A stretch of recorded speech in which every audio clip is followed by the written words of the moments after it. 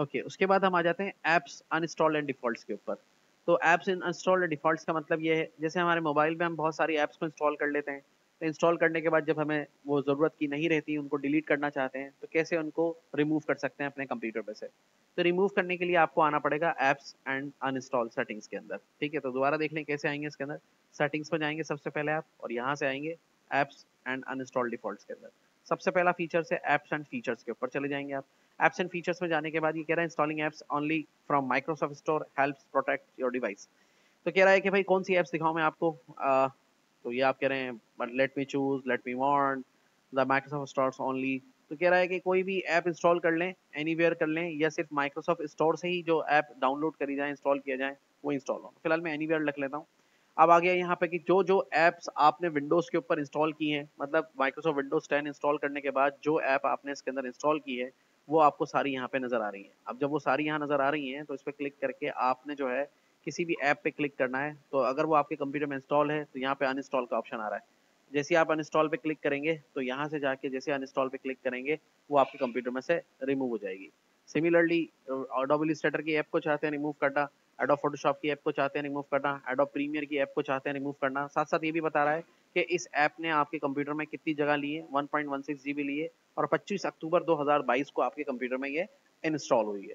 तो अगर आपको कोई भी अनवांटेड ऐप है अननेसेसरी ऐप है, जो आप चाहते हैं कि मेरे कंप्यूटर में ना आए, मुझे नहीं देखनी, मुझे उस पर काम नहीं करना तो जस्ट आपने सिंपल उस पर क्लिक करना है और उसको यहाँ से क्या कर देना है? अनइंस्टॉल कर देना है।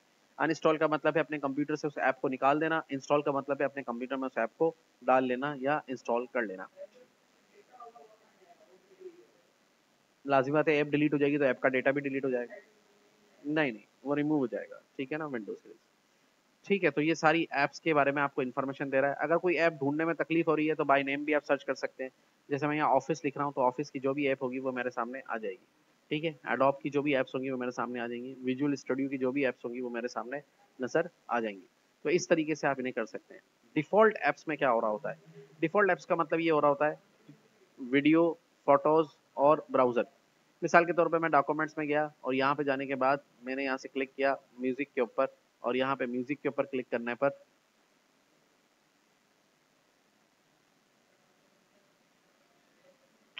ओके म्यूज़िक या पिक्चर्स वीडियोस किसी पे भी क्लिक कर लेते हैं, यहाँ से क्लिक किया।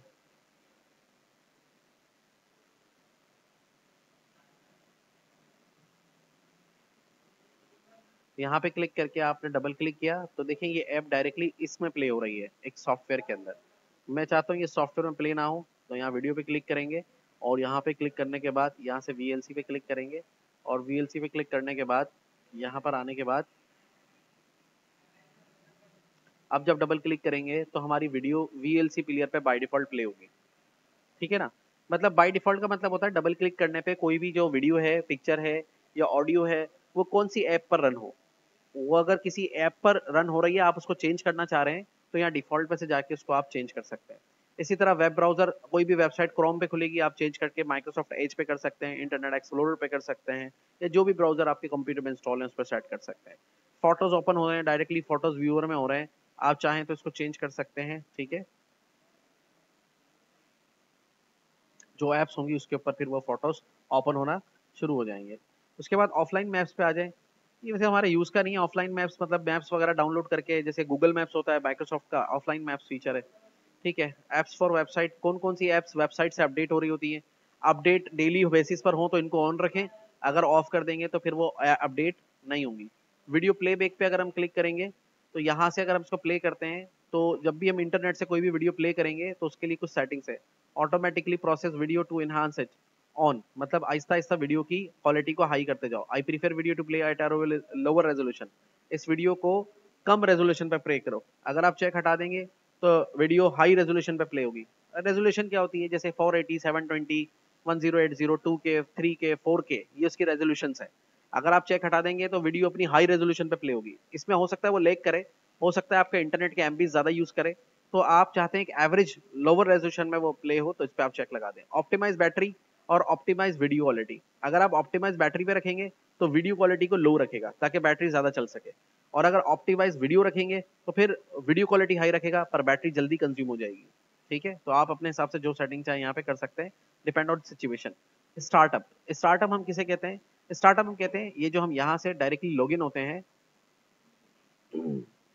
यहाँ पे क्लिक करके हम यहाँ से जो लॉगिन होते हैं, इस प्रोसेस को हम कहते हैं स्टार्टअप जैसी विंडो में लॉगिन होते हैं। अब स्टार्टअप में ये कह रहा है कि भाई अगर आप स्टार्टअप पे कौन कौन सी ऐप ऑटोमेटिकली रन हो जाए तो ये वो सारी ऐप्स के नाम आ रहे हैं जो स्टार्टअप पे ऑटोमेटिकली रन हो जाती हैं। ऑटोमेटिकली रन होने का मतलब ये है, जैसे विंडो लॉगिन होगा तो ये सारी ऐप चल पड़ेंगी। ठीक है? अच्छा अब मैं चाह रहा हूँ ये ऐप ना चलें। तो जिस ऐप को चाहते हैं ना चले तो उस पर से ये ऑफ़ कर दें उसको। तो वो ऐप ऑटोमेटिकली कंप्यूटर स्टार्ट होने पे विंडो लॉगिन होने पे नहीं परफॉर्म होगी। ठीक है? अच्छा इसके अलावा अगर आप चाह रहे हैं मिसाल के तौर पे मेरी कोई पर्सनल ऐप, फ़ाइल या फोल्डर स्टार्टअप पर खुल जाए तो उसके लिए क्या तरीका है? उसके लिए आपको ये स्टार्टअप वाला फोल्डर सर्च करना है। ये सर्च कैसे होता है?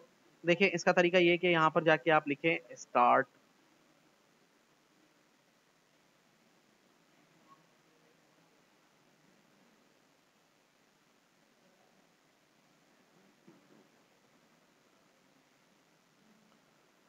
इस पर देखते हैं। ओके। यहाँ पे देखें एडिंग ऐप टू स्टार्टअप जैसे क्लिक करेंगे इसके ऊपर तो यहाँ पर हमें ये बता रहा है कि आपने कैसे कोई भी ऐप या कोई भी फ़ाइल स्टार्टअप पे कैसे सेंड करनी है सेट करनी है। ठीक है?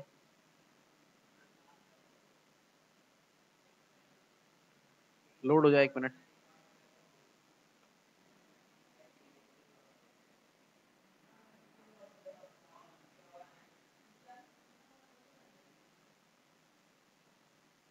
रहा है सेलेक्ट करें स्टार्ट में जाएँ और यहाँ से राइट क्लिक करें किसी भी ऐप के ऊपर। मोर में जाएँ ओपन फ़ाइल लोकेशन देखें। This file location will shortcuts app saved ठीक है? तो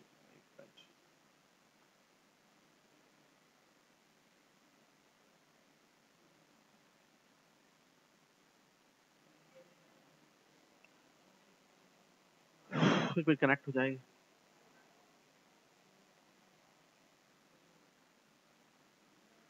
ठीक है तो यहाँ से हम जाके इसको हाँ और कह रहा है दूसरा location Windows logo R shell startup यानी कि ये वाला अगर हम लिखेंगे शेल और कॉलन के साथ स्टार्टअप तो हमारे सामने स्टार्टअप का फोल्डर खुल जाएगा।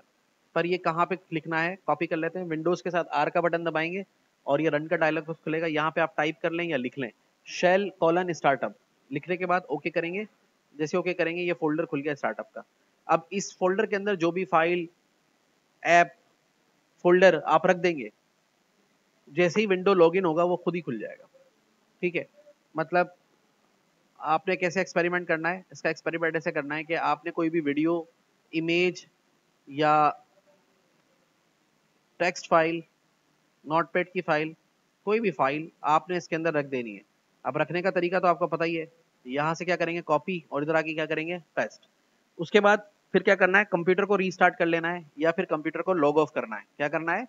साइन आउट फिर जैसे ही आपका कंप्यूटर रीस्टार्ट होगा और आप लॉगिन होंगे विंडो के अंदर, वो फ़ाइल ऑटोमेटिकली आपके सामने खुल जाएगी। ऐसा हम क्यों करते हैं? ऐसा इसलिए करते हैं कि हम चाहते हैं कि कभी हम जैसे कंप्यूटर खोलें तो कोई ऐप है या कोई फ़ाइल है, वो डायरेक्टली ओपन हो जाए। मुझे खोलने की ज़रूरत ना पड़े तो उसको हम इधर रख देते हैं। उसको डायरेक्टली इसके अंदर रख देते हैं फोल्डर में या उसका शॉर्टकट रख देते हैं। दोनों सूरतों में वो काम एक ही करेगा कि जैसे ही लॉगिन करेगा विंडो को लॉगिन होने के बाद वो फ़ाइल या फोल्डर ऑटोमेटिकली लोड हो जाएगा। सही है? समझ में आ गई बात ये?